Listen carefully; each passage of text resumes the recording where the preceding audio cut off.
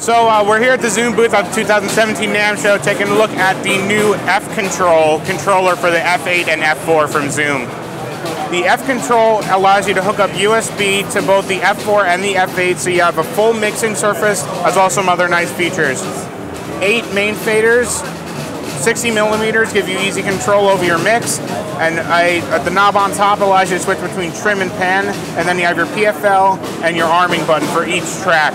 The main fader can control your stereo mix or the outputs. On the right side, you have your transport controls, your menu, and your menu selection knob, and then some nice buttons that give you easy access to metadata notes, uh, your time code menu, and then the user assignable buttons can, can have uh, have many functions uh, to whatever.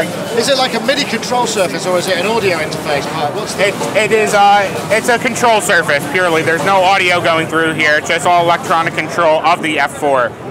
Uh, you can power it via uh, bus power with the F4 or uh, through the 4-pin Hirose connection or AA batteries. You can have uh, your headphone, you can run audio from through the unit, so you can have your headphones coming out of the F control.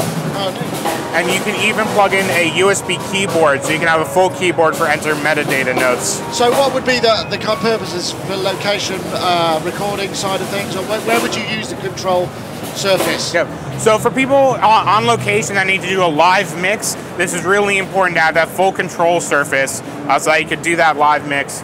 Um, if you have a cart setup, that's the best. Very easy to have it on there, but it's smaller form factor, and the metal construction makes it so that you can even use it in a bag setup, handheld even if you really needed to.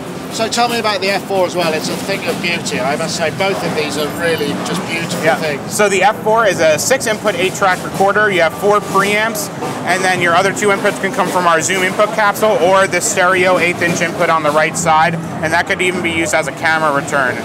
The unit can be powered uh, through the 4-pin Hirose connector or with AA batteries. You have four outputs, all the features that you need for uh, real location sound recording, time code, multiple power options, multiple SD card slots, and the highest quality audio that we offer. So what uh, uh what kind of uh, battery life do you get out of a straight battery pack, on, on-board battery? Out of the batteries, uh, you can safely rely on four to six hours. Uh, but if you're looking to really power all day, going through the 4-pin Hirose connector with an external battery, you can power it all day. And um, tell me a little bit about the, the, the, the stereo mix recording, because you can record six inputs. Yep, so you can record six your six inputs, the four preamps, plus wherever you get your other two inputs, plus a stereo mix that you can create live using the unit itself, or that's where the F control comes in, the ability to make that mix as you're recording.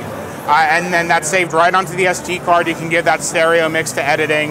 No need to do it afterwards. And in terms of uh, storage, twin SD cards. So Dual SD cards, so you're always recording at both at the same time, up to 512 gigabytes in each.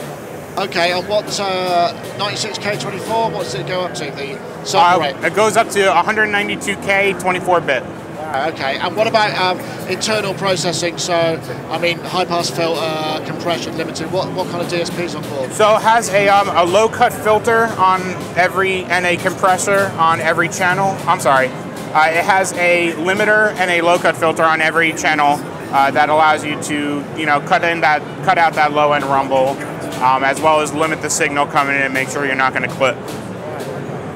And I guess the, the other big news is you know, a, a time code. Is it in and out or just out? Or?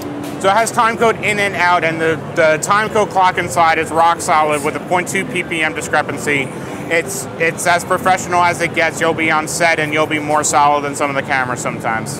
Right. Okay. Cool. And what's the price and availability for these guys? The F4 is available now uh, for 649 in the U.S. And what about the F Control? F Control is going to be available starting next week at 349. Right. So, I mean, I guess for uh, location sound is kind of one of the key things, but I mean, I guess, you know, if you need short like radio, uh, you know, small track count, multi-track recording. So for, for podcasters, for uh, even musicians, um, it's hard to find portable recorders that have uh, multiple channels of phantom power uh, and the ability to record really high quality audio. audio. The F4 and F8, for those guys, uh, can really give you that ability. The F8, you can get eight condenser microphones with no attachment to a wall going into the recorder, which is huge. Um, with the F4 getting four in is also huge. So for somebody looking for the highest quality portable recording, even outside of the film world, these can work really well for you. And I noticed there's a, a below mount. Uh, Can you get a top mount as well? Is there a way? Yes, so uh, on top here, it actually comes with a bracket that goes under these four screws, and that bracket has a camera tripod on there, so you can mount a DSLR camera or a camcorder or something right on top of the unit. and it's flat because that's the thing with with the rigs that we've got. We can just put them down and they don't fall over. Absolutely, yep. Thank you very much, Samuel. Thank you.